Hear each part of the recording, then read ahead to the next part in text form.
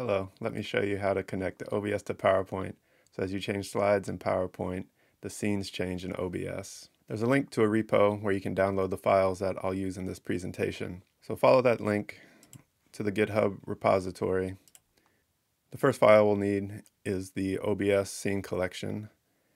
In the repo, go to the Winsome OBS collections, click on the Windows collection, and then click download.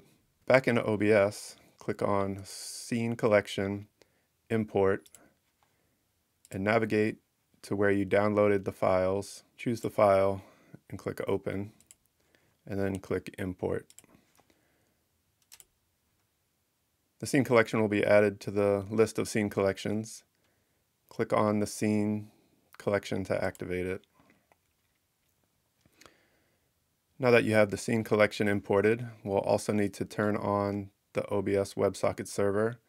Click Tools, WebSocket Server, and then check the enabled WebSocket server. We'll also need to get the password, so we'll queue that up.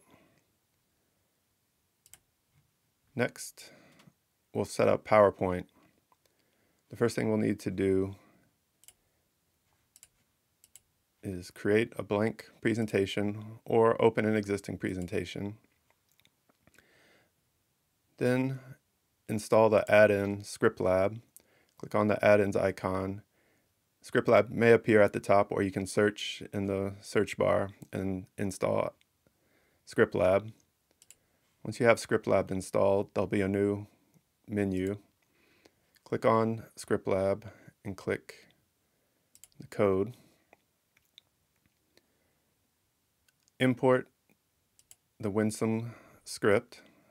Click on import and go back to GitHub or where you downloaded this repository to.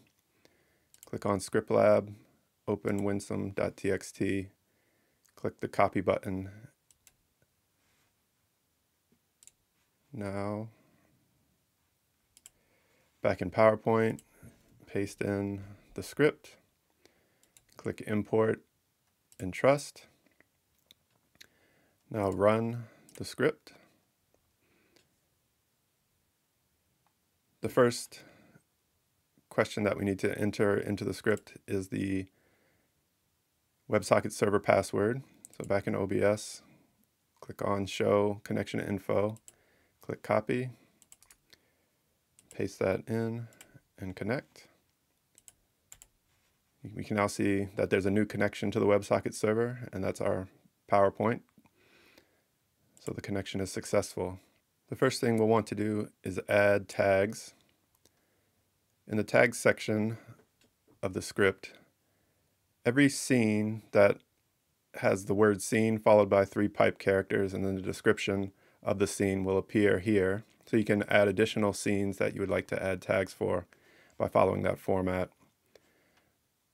And for each scene, you can add it at the entrance of the slide, meaning after the transition has completed, or at the exit of the slide, meaning once you click next slide, the transition starts, and that is the slide's exit.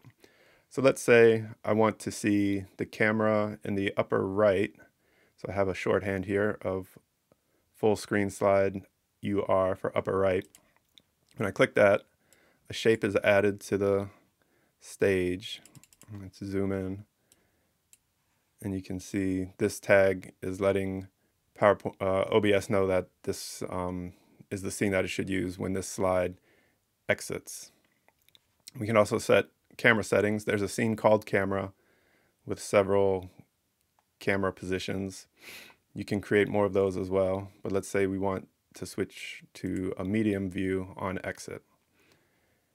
And we can go to the next slide and let's add an example here. We did the upper right in the previous slide, so let's have it go to the lower right on exit and go to a wide angle camera. We can see these tags were added here.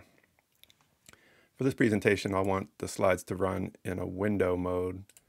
So let's switch over to the slides settings and choose Windows and continue to loop.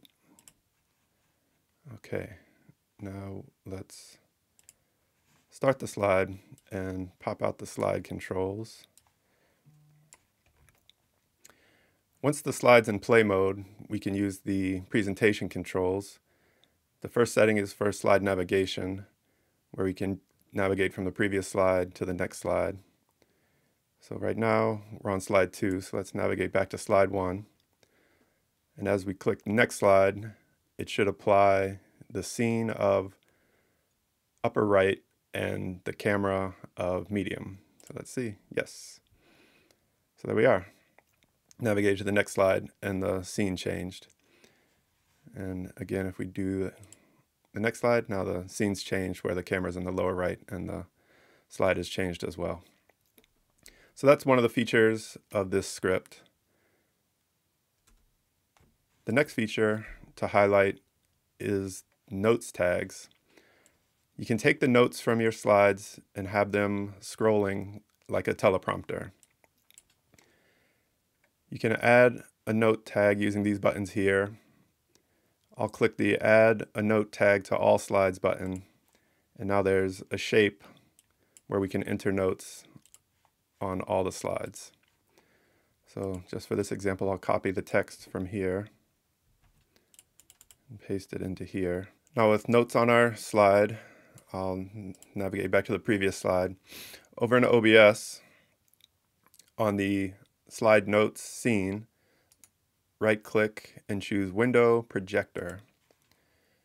And once the pop-up appears, click always on top. Now, as the slideshow progresses, the notes will load and start to scroll. The teleprompter has settings where you can pause the scroll. You can increase the size of the font and decrease the size of the font and increase the scroll speed and decrease the scroll speed.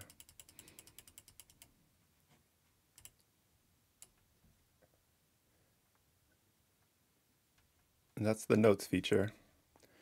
The last feature to highlight are the hotkey controls. In OBS, under settings and hotkeys, there's a scene called slide controls that you can assign hotkeys to that send the message to PowerPoint to go to the next slide, go to the previous slide, pause the scrolling, speed up the scrolling and decrease the scrolling.